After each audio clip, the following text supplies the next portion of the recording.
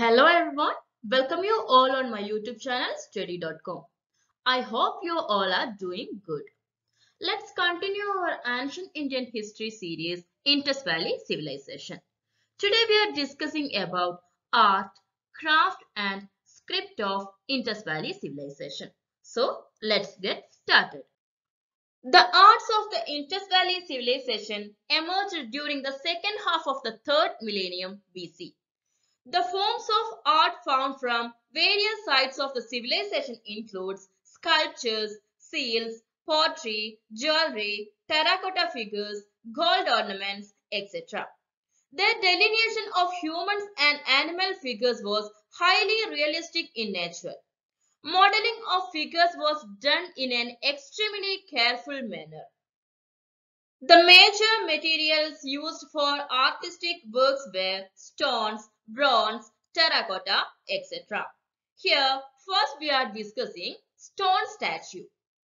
There are two major stone statues, that is, beard man and male torso. Beard man was a priest king or priest man. The stone sculpture of the beard man was discovered at the ruin of Mohenjo-daro. These figures made of steatites. The figure is covered in a shawl that comes under the right arm and covers the left shoulders, indicating that it is a priest. The shawl has a trefoil design on it. The eyes are half closed as if in meditation. Nose is well formed and medium size. Short beard and whiskers as well as a short mustache. Wearing an armlet and probably other jewelry. Second figure, male torso. Male torso is completely nude, made of red sandstone. Its legs, arms and head were broken. It is found in Harappa. There are socket hole in the neck and shoulder for the attachment of head and arms. Another important artistic work was bronze casting. The bronze casting was a widespread practice during the Indus Valley civilization. Bronze statues were made by the lost wax technique. Examples of bronze casting are Dancing Girl and Bull from Mohenjo-daro. The Dancing Girl statue stands as proof of finest metalworking skills of Indus Valley people. It is found from Mohenjo-daro, made up of bronze. It shows a high degree of development in the art form of sculpture. The figure shows vigor, variety and ingenuity. The right arms of the dancing girls rest on the hip and the left arm is heavily bankled made of bone or ivory. She has large eyes and flat nose. The statue holds a small bowl against her left leg. Necklaces adorn her body. Her hair is braided and her head is slightly thrown back. The bull from Mohenjo-daro. It found in Mohenjo-daro, the animal is shown standing with his head turned to the right. A cord is wrapped around the neck. Another important artistic work was terracotta. People of Indus Valley were created terracotta images. Most important terracotta images are those of the mother goddesses. Toy carts with wheels, rattles, birds and animals were also made from terracotta. The most important terracotta figures in the Indus Valley civilization is a figure of mother goddesses. The idea of mother goddesses is associated with the idea of motherhood, fertility, procreation, and the continuity of life. The upper body is covered with heavy head ornament and the lower body with a short skirt or sari fastened by a waistband. Next, we are discussing about seals of Indus Valley civilization. The seals of Indus Valley civilization were one of the remarkable artistic creations of their culture. Thousands of seals have been discovered by archaeologists from the Indus sites. Usually, most of the seals were made of steatite. A few of the seals were made of copper, agate, shell, terracotta. Most of the seal have pictures of animals with something written in a pictographic script. Seals were primarily used for commercial purpose. There are writing on both sides of the seals. The script were written from right to left. The subject matter of the seals were the figures of animals such as tiger, elephant, bison, goat, buffalo, unicorn, humped bull, etc. The most typical seal of Indus Valley civilization is square shaped with a set of symbols along the top, an animal in the center and one or more symbols at the bottom. Rest of the seal's shapes includes triangle, rectangle and circle. Seals were also used as amulets carried on persons of their owners, perhaps as modern day identity card.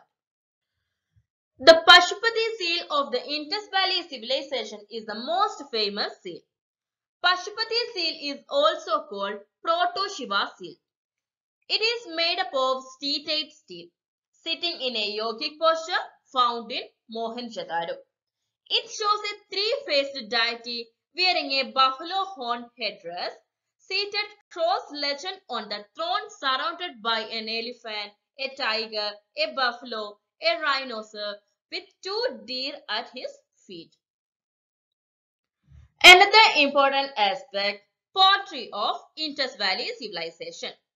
The pottery from Harappa is another specimen of the fine arts of the Indus people. The Indus Valley pottery consists chiefly of very fine wheel made ware, very few being handmade. Potteries found at excavation site can be broadly classified into two kinds. That is, plain pottery and painted pottery. It is also called red and black pottery as used red color to paint. Polychrome pottery has also been found in Harappa. This is a type of pottery in which three or more mineral colors are used. This pottery was rare and mainly comprised of small vases decorated with geometric pattern in red, black and green, rarely white and yellow. Much of the pottery of Indus Valley civilization found was for daily household purposes with various shape and size suitable for storage or cookware. Beads and ornaments of Indus Valley civilization. The Indus people used precious stones for making beads. Steatite was the common material used for making beads.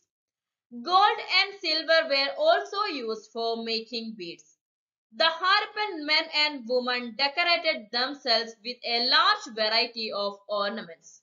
Both men and women wore white necklaces, fillets, armlets, and finger rings. Women wore anklets and earrings. Necklaces made of gold and semi-precious metal stones. Copper, bracelets, and beads gold earrings and head decorations all have been discovered in Mohenjo-daro and Lothal. Beads were commonly made of amethyst, jasper, carnelian, crystal, steatite, lapis lazuli, etc. Unique metals like bronze, gold, shell and terracotta were also used in the beads.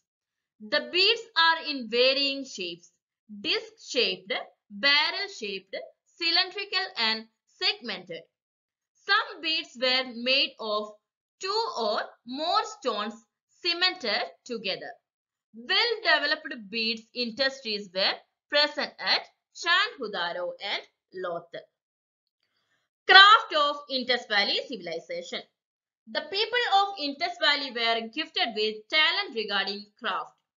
In the Indus cities, there were men and women who made all kinds of things either in their own homes or in special workshops known as craft persons. They were skilled in a variety of crafts.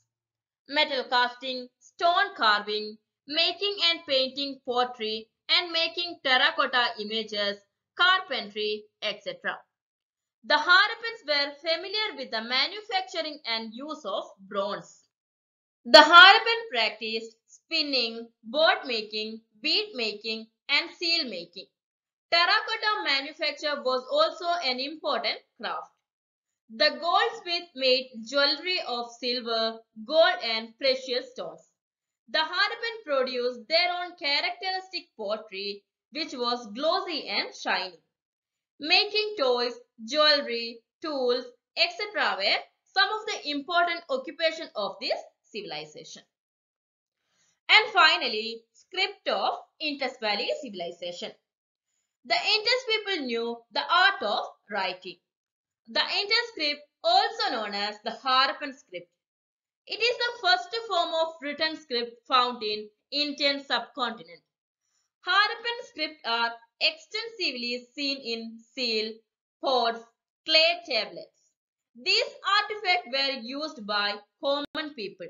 So, historians believed that all people were literate, which means people who know reading and writing. The two features of Harappan script are it was pictographic in nature as the script consisted of designs of animals, fishes and various forms of human figures too. It was found to be inscribed on seals, terracotta, tablets, etc. In spite of many attempts, the Indus script has not yet been deciphered. The decipherment of the script has become more difficult as they are engraved on small seals. Yet another problem in the decipherment is that the tradition of the Indus script was not carried on in the later period. Several theories have been put forward about the script. Some theories argues it is a Proto-Dravidian script and others it is a Proto-Sanskrit script. Let us hope that the unveiling of the mystery regarding the Indus script will be done in the recent future which will of course provide further information to the existing knowledge about the Indus civilization. So that's it for today's session. Thank you so much for watching my video. If you like my video, please subscribe and click on bell icon. If you have any doubt regarding this video, please do comment. So, we will continue with the fifth part of Indus Valley Civilization in the next session. Till then, bye.